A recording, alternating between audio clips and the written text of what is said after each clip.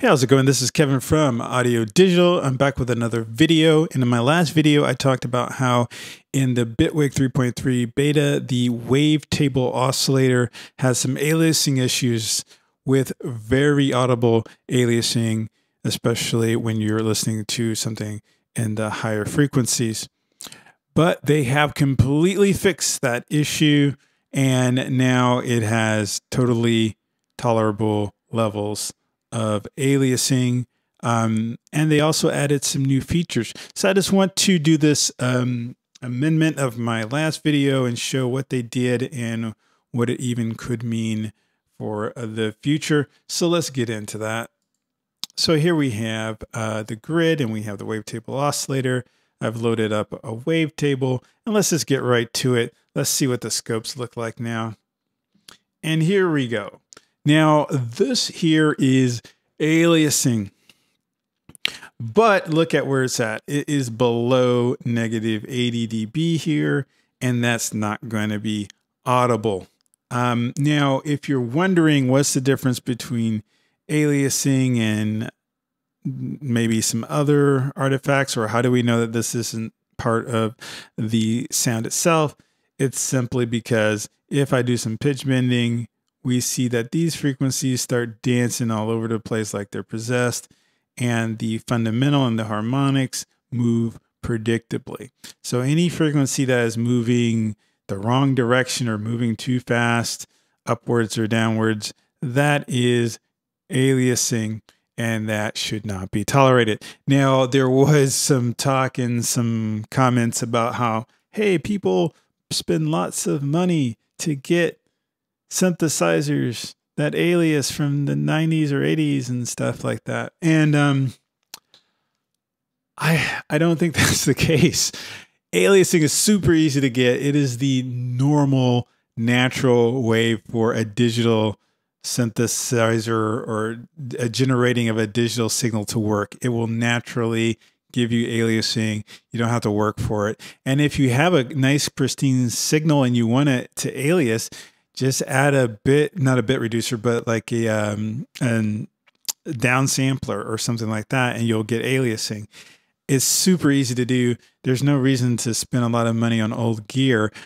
Also, though, if you're thinking about gear like um, SP12 or something like old drum machines or old samplers, those guys aren't really known for their aliasing. Um, they're known for having a sound that is associated with low bit rate sampling. So like um, you have a 12 bit sampler or an 8 bit sampler and it has a certain noise to it. And that uh, is for, because of bit depth and not because of sample rate and frequencies going over Nyquist. Um, aliasing is is specifically something that is of great concern, especially nowadays, with synthesis and not so much with recording anymore because they they kind of solve that problem pretty early on by just simply um, putting a, a, brick wall filter after right before Nyquist, and that pretty much eliminates the issue when you're recording. But when you're doing synthesis, it's a different story. So in any case, you don't really have to worry about uh, losing out on your sweet, sweet aliasing if that's what you're into. I'm super not into aliasing. I, I hate it. I don't even like it as an effect generally. So, how did they do it? How did they get this aliasing gone as much as they did? Well, I think we get a clue, perhaps, and I don't know. I'm just guessing here. But I saw an interview by the guy who made Vital, and he was talking about the problem of aliasing and how to get rid of it. And in this synthesizer, there is the uh, spectral morphing section here. Most wavetable synthesizers allow you to bend the waveform in different ways and to basically do wave shaping on the waveform. Um, but this particular synthesizer allows you to mess with the harmonic content of a specific waveform. And he was saying since uh, the waveforms are already being kind of split out into their uh, component harmonics, it wasn't much of a jump to cut off any frequency that would alias um, once it is uh, made into a digital stream. And so that's how they got rid of, or he got rid of aliasing in a synthesizer, and it is amazingly effective. And then when you look over here in Bitwig, we see that there are some new features that came along with this anti-aliasing, uh, which have to do with taking the spectrum and modifying the harmonics within uh, the overtones or the uh, harmonics of the um, of the wavetable. So um, we can see here that let me play a note here. Here we go.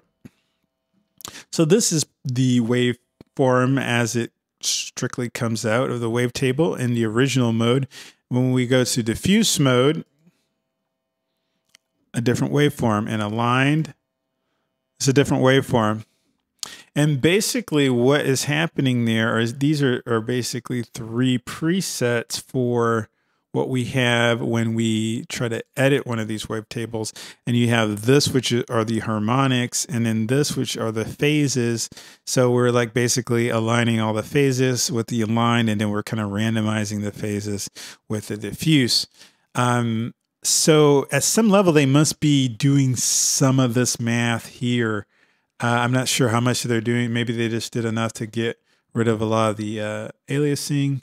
But in any case, it's super cool. Does that mean that in the future that they might uh, go deeper into this and allow us to do some of this same sort of spectral morphing type stuff or even an editor? Wow, that would be amazing. I don't know.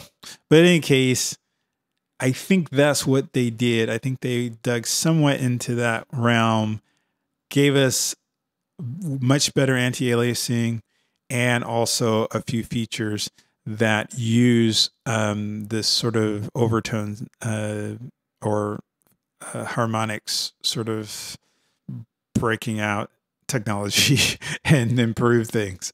And by the way, yeah, get on this synth right away. This synthesizer is amazing. These two different sort of morph modes add up to something amazing. And look at here, we got ourselves what can be considered a kind of like an MSEG. Wow. Look at that. That's, I like that. Anyways, moving on. If you want me to do some material on Vital, I'm happy to do it. I'm kind of enamored with it. But one thing I just wanted to to show, just because I'm I'm proud of what this guy Matt has done, um, is show what the scopes look like with this exact same wavetable in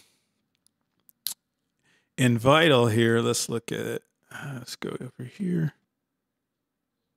Okay, now we're gonna play it. Look at how clean that is, man. This is genius work here. This is like, this is amazing stuff. Uh, let me pitch bend it a bit, and you can see. I get some little spikies there, but they remain well below 80. That is so clean and so beautiful.